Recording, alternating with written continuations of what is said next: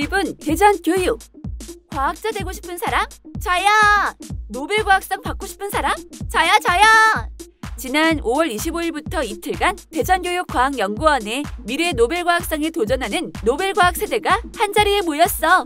노벨과 함께하는 꿈나무들의 과학 축제인 노벨과학 체험전이 열렸거든. 대전의 과학 교육 브랜드인 노벨과학 꿈 키움 프로젝트의 일환으로 개최된 이번 행사는 과학을 좋아하는 학생들이 모인 각 학교 노벨과학 동아리의 탐구 활동을 체험해보는 축제의 장이었어.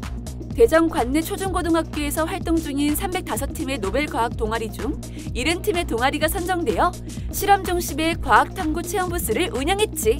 뿐만 아니라 소규모 과학 강연인 과학 콘서트, 세상에서 가장 특별한 실험실 등 체험전을 찾은 학생들을 위한 흥미로운 프로그램도 가득했다고.